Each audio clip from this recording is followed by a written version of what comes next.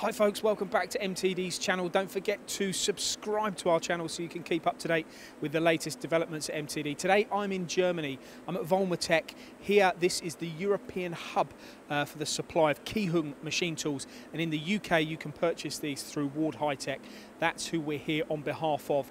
The range of Kiheung machines, well, they, was, they were uh, founded in 1968 in Korea, South Korea. Fantastic range of machine tools.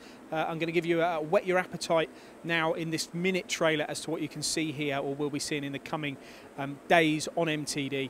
This is obviously a, a, bed mill here, looks like a pretty chunky application. We'll see that no doubt machining later as we work our way up of this rather expansive and quite tidy looking showroom. On the left of me we have another Kiheung machine, this is the U1200 LT. This has obviously got a mould and die application on it by the looks of it. High speed machining, open access machine.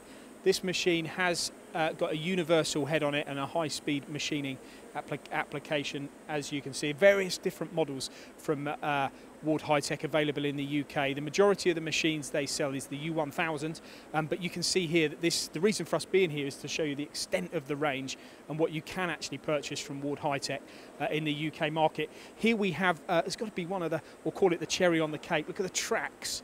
We're going to go into great detail about this machine uh, over the coming hours. Uh, we're going to be looking at the heads involved on these machines. We're going to be looking at the various sizes of machines that you can have. And of course, as you see here on this bed, um, on this floor, bed alongside me the size of the applications that are suited to this type of technology. All the Kiheung machines are sold in the UK by Ward Hi Tech, fully supported and serviced and have been for the last 12 years. Over the course of the next few days and weeks you'll see loads more videos coming from here at Kiheung and tomorrow we're at Hwacheon. So keep tuned to the channel and don't forget to subscribe using the link on the bottom left hand corner.